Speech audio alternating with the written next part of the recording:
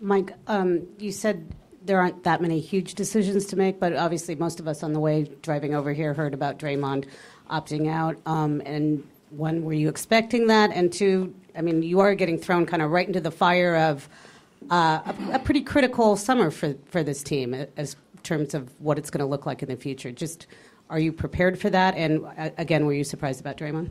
Yeah, so I, I saw the report too. Um, until we get the paperwork and the filing, we can't really comment or say much. So um, I will say, I think Steve has said it, and I'll reiterate, we really want Draymond back. Um, what he means to this organization, to this team, in terms of trying to win at the highest level, uh, we, we, we feel like we have to have him. Um, so that's very important. Um, beyond that, yeah, I mean, I think a lot can be made of all the challenges that, that are coming our way, whether it be aging roster, the new CBA with some of the limitations there, um, anything else you can bring up. But um, we're aware of all those things, but we also feel like we're in a great, great place because we've got a competitive owner willing to spend and a, a group that's really tied in. It's got good synergy, good processes, good sound decision making. So we, we feel confident we can navigate it.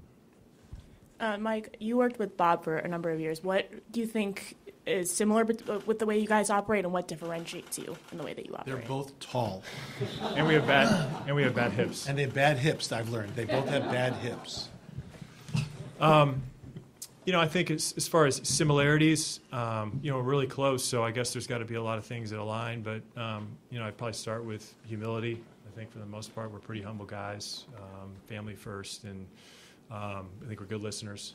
Both like to hear people out and hear groups out, and as as leaders, you know, try and make the right decision. Uh, differences. Um, I think I'm a slightly better basketball player than him.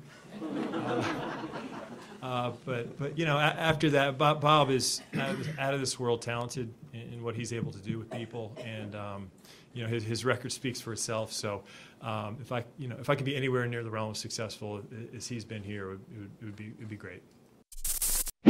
Thanks for watching ESPN on YouTube. For live streaming sports and premium content, subscribe to ESPN Plus.